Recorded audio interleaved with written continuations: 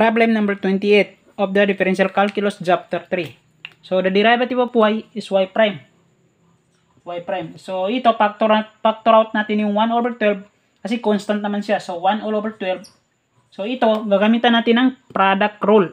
So, u secant squared 3x times the derivative of u, u times derivative b, derivative of b, the derivative of tangent squared using chain rule. Kasi may exponent tayo. So, ibaba mo yung 2.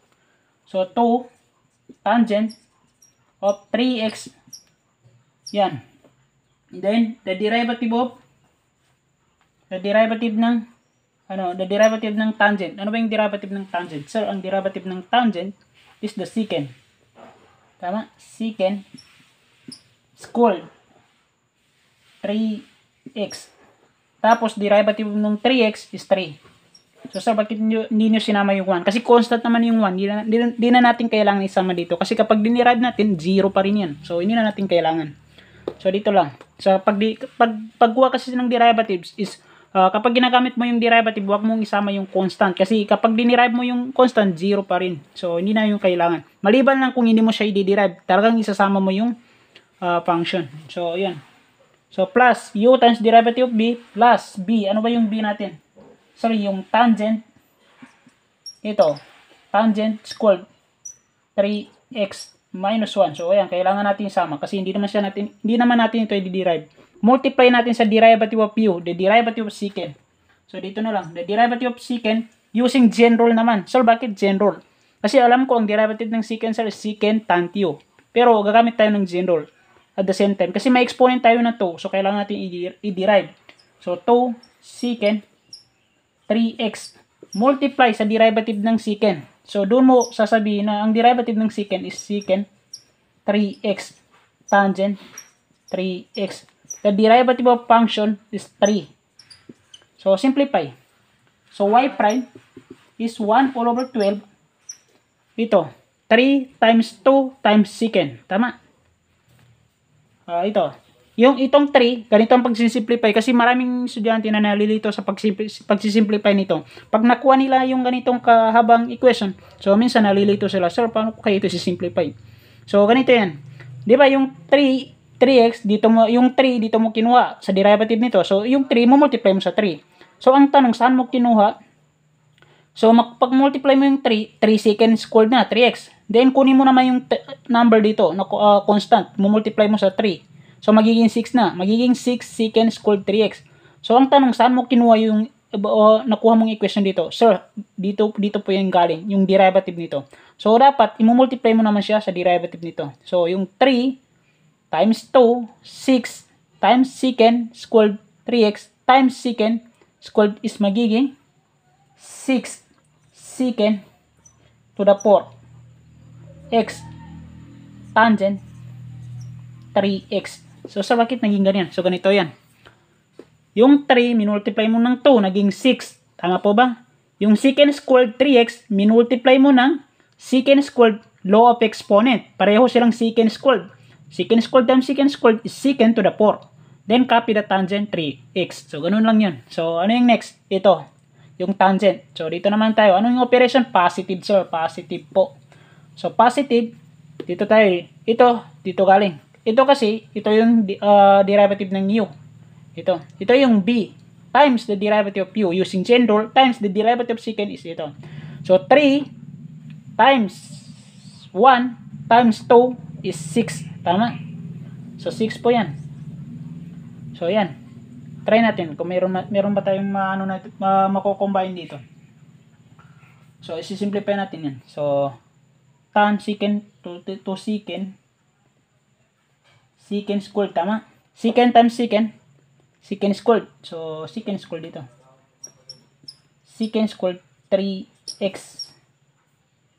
Then, dito naman, tangent 3x, tama? Tangent, wala na, hindi na nagayang. Tangent 3x. Then, ano pa? Multiply sa ito. So, another tangent. So, lagyan natin ng bracket para square. 3x minus 1. So, yan. So, ganito yun ha, nangyari. 3 times secant tan times secant. 3 times 2, 6. Secant times secant, secant squared. Tan, 3x. Multiply mo naman dito, copy mo lang dyan. So, ganun yun siya. So, ano yung next? Ang next step po natin is, ito, ipapactor out natin yung 6. So, bakit nyo pa ipapactor yung 6? Kasi common yung 6 tingnan nyo. Ano pa yung mga papactor natin? So, dito, wag kayo basta-basta magsisimplify. Kailangan niyo ng, kailangan niyo i-analyze yung problem o yung equation na nagawa niyo Kasi may possible na hindi lang factor yung involved dito. Maring identities or uh, ano pa, may mga types ng algebra. So, yan. So, ano yung papaktor natin dito? 6. Ano pa? Yung ito, secant, pati secant, common man. So, yan. Pati tan, pati tan, common din.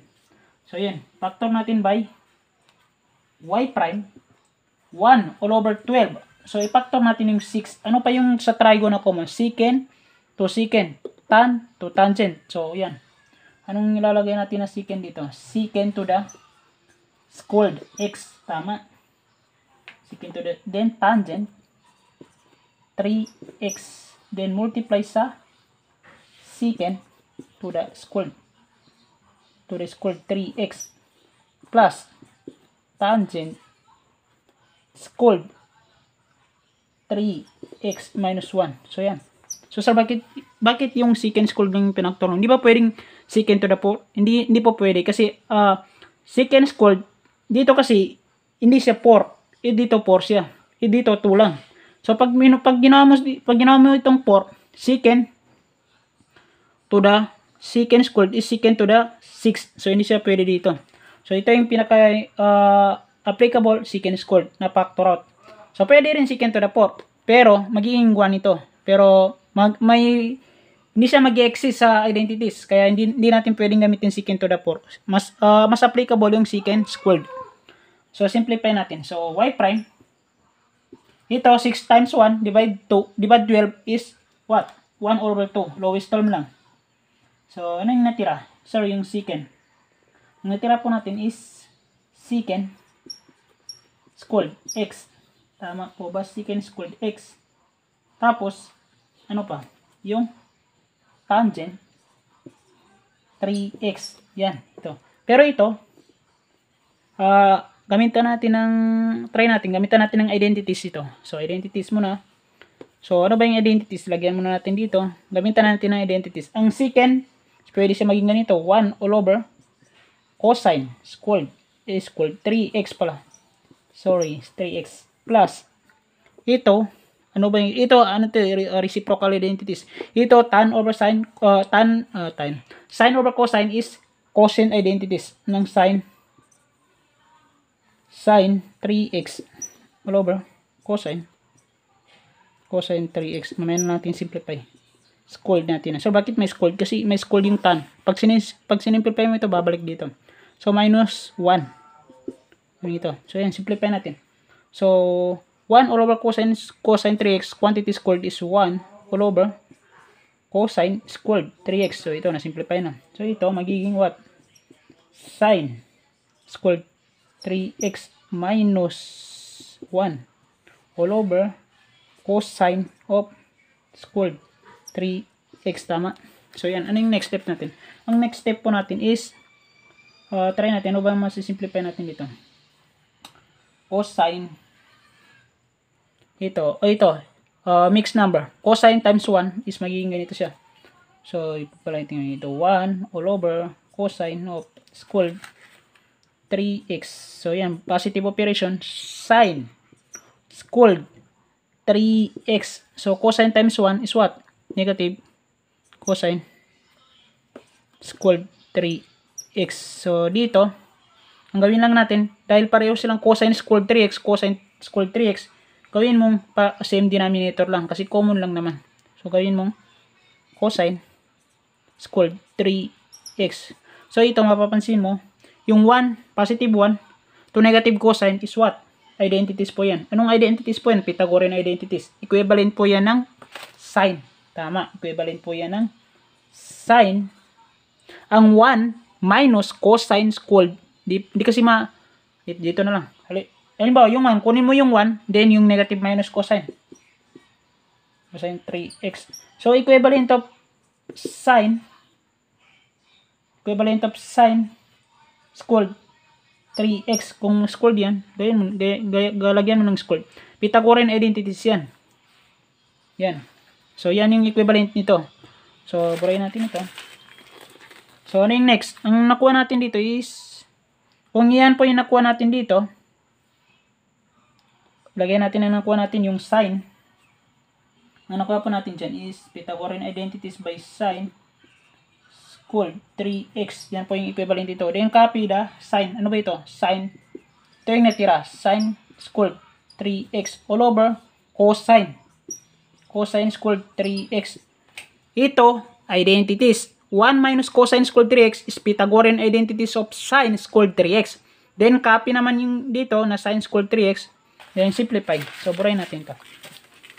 So, ang sinisimplify pa lang natin is ito pa lang. Ito pa lang. Ito wala pa ito. So, yan. Simplify natin ito. So, sine squared 3x plus sine squared 3x is equivalent of 2 sine. So, bakit naging 2 sine? Kasi alam natin na meron itong coefficient na 1. So, 1 plus 1 is 2.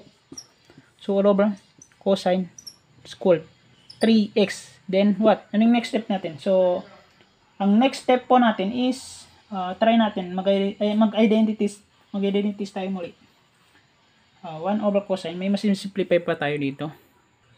So, okay, meron tayo may masisimplify dito. So, ito, ito, di, ito, dito yung galing. Sinimplify natin ito gamit yung identities. Ito po yung nakuha natin.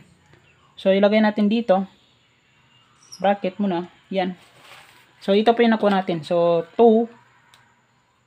So, di ba, ang, alam natin na ang sine over cosine is identities of what? Identities of cosine identities. Which is yung tangent, no? So, lagyan mo lang ng, dahil may 2 dito, maglagay ka ng 2. Hindi ko na kasi ipapagkita pa yung masyadong mahaba na. So, sine squared 3x over cosine is tangent. Tangent squared 3x. Yan. Yan po yung simplify nito. So, yan. 1 over 12. So, ano yun? Simplify natin.